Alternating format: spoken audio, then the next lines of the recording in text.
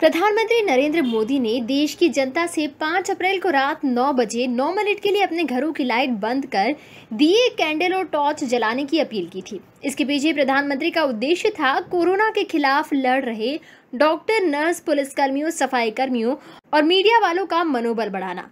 लेकिन लोग सिर्फ़ दिया मोमबत्ती जलाने पर नहीं रुके। उन्होंने पटाखे, फोड़े, कागज़ की लालटेन उड़ाई, मशाल रैली निकाली।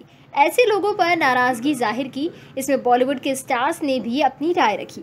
एक्ट्रेस सोनम कपूर ने दो ट्वीट किए, लेकिन इसके बाद उन्हें बुरी तरह ट्रोल किया जाने लगा। प्रोड्यूसर अशोक पंडित भी सोनम के ट्वीट पर ही भड़क गए।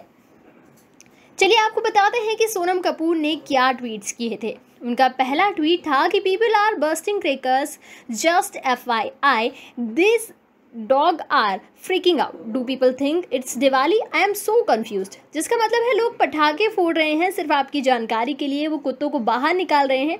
क्या लोग ये दिवाली लग रही है? मैं बहुत कन्फ्यूज़ हूँ। सोनम ने दूसरा ट्वीट किया कि यहाँ पूरी शांति थी और शांत माहौल था। अब दक्षिण दिल्ली में पक्षी और कुत्ते परेशान हैं, शोर शराबा सुनाई दे रहा है, क्योंकि कुछ मूर्खों ने आज रात पटाखे फोड़ने का फैसला किया है। सोनम यहाँ दक्षिण दिल्ली की बात इसलिए कर रही हैं क्योंकि वो इस समय उनके पति आनंद आहूजा के घर साउथ दिल्ली में रुकी हुई हैं। इन ट्वीट्स के बाद उन्हें ट्रोल किया जाने लगा। लोग उनकी दिवाली की फ़ोटो और वीडियोस खोज लाए।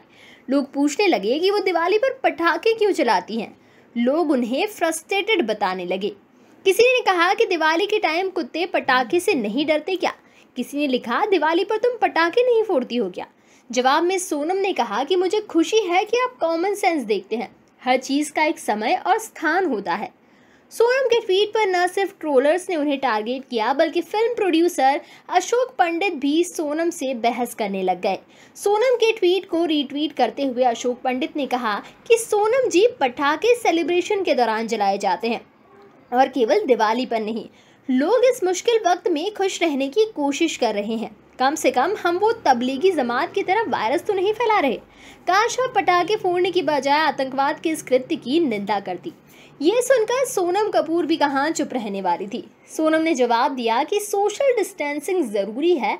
अशोक जी, ये भी सुनिश्चित करना कि कोई सांप्रदायिक घुसपैठ नहीं हो, जिससे सरकार अच्छे काम करने पर फोकस कर सके। जिस तरह वो कर रही है। मुझे विश्वास है कि आप मुझसे सहमत हैं। आप एक समझदार व्यक्ति हैं जो अच्छा और दयालु होने में विश्वास करते हैं। इसके जवाब में एक बार फिर अशोक पंडित ने कहा कि हम सभी को अपने और दूसरों के लिए सामाजिक दूरी बनाए रखनी होगी। तबलीगी जमात और उसके आतंकवादी कृत्य पर आपकी प्रतिक्रिया का अब भी इंतज़ार है। वो बहुत सी मौत के जिम्मेदार हैं। वो आतंकवादी हैं, आप उनकी निंदा करें। जवाब में सोनम कपूर ने कहा कि मैं हवा में तीर नहीं छोड़ रही। जैसा मैंने पहले कहा था कि सामाजिक दूरी बहुत ज़रूरी है और जो भी उसे फॉलो नहीं करता है, चाहे वो हिंदू हो या मुस्लिम, सिख हो या ईसाई, वो सब गलत है। मुझे लगता है कि आप सहमत होंगे। आपको और भी कोई ज़रूरी काम होंगे। मुझे लगता है कि अब हम दोनों अपनी बात रख दी है। इसके बाद भी ट्वीट वार जारी रहा और अशोक पंडित ने कहा कि, चलिए इसका सामान्यकरण नहीं करते हैं और असली अपराधियों की तरफ़ उंगलियाँ नहीं उठाते। हम सब में आसाराम बापू राम रहीम के खिलाफ आवाज़ उठाए।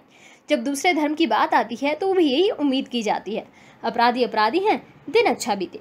इस ट्वीट का सोनम ने कोई जवाब नहीं दिया। वहीं यूज़र्स इन सब का मज़ा लेते दिखाई दिए। हालाँकि सोनम अकेली नहीं है, जिन्होंने दिए जलाने की जगह इस तरह जश्न मनाने का विरोध किया हो।